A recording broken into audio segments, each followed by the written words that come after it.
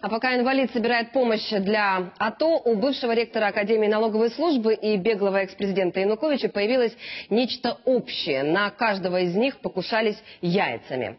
Как Петр Мельник перенес удар тяжелым тупым предметом, видел в Ирпене Максим Кошелев. Петр Мельник теперь участник уже двух судебных процессов. Один уголовный длится уже достаточно давно, а теперь появился еще и трудовой спор. Мельник хочет вернуть себе кресло ректора налоговой академии. В этот раз к Ирпенскому городскому суду первой приходит группа поддержки Мельника. Одна из девушек раздает плакаты и расставляет демонстрантов. Поклонники экс-ректора верят, мол, и взяток не брал, и закон не нарушал. А то, что сбежал из-под стражи в США, ну бывает, что уж там. Конечно же, смущает с одной стороны, но я даже не знаю, что вам сказать. Он спокойно уехал, если он спокойно не утекал, он утекал. А ви нам чому там уся Верховна Рада Дома с браслетом, а Вин сидит в Калифорнии. Что? Ну и что? Что он сделал такого преступного, что его вот так?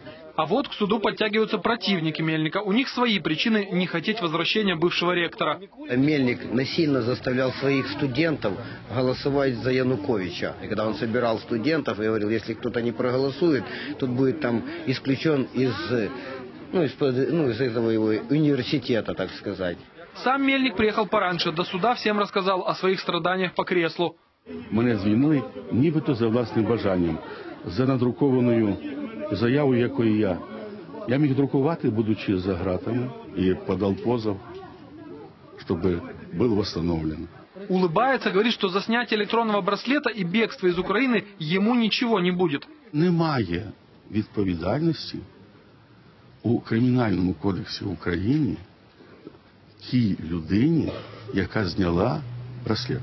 И втекла с підвалу. Ви, ви мене почули чи ні? Немає кримінальної відповідальності.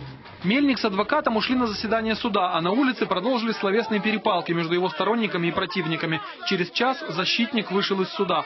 Не, ничего не было. Мы заслушали обе стороны, слушали, каких свидков вызываем, и все. А перенос на 21 Когда из здания вышел сам виновник торжества, полетели яйца. Головешек не было.